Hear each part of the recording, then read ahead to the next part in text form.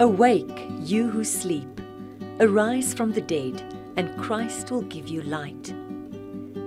Spiritual awakening is the theme for Conversations 2018, an opportunity to explore dimensions in which we are called to awaken to. The keynote speakers over these two days include Marina Strydom, Johan Geyser, Willem Nicol, and Carolyn Arends.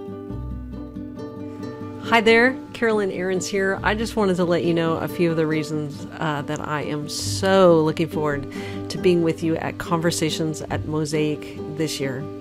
The first reason is kind of a personal one. My family's coming with me, and this is our first time to South Africa, and we can hardly wait to see your beautiful country. The second reason I'm excited is because our friend Trevor Hudson has told us so much about you, and I can hardly wait to meet you in person.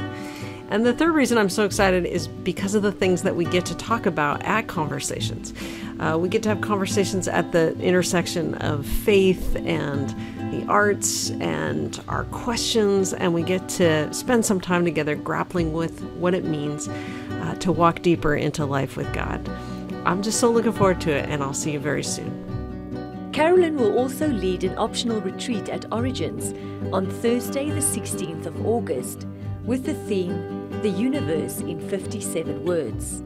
On this retreat, we will allow the Lord's Prayer to launch us into deep conversation with the Trinity, making use of teaching, dialogue, music, and guided and personal silence to create space for the Spirit to move.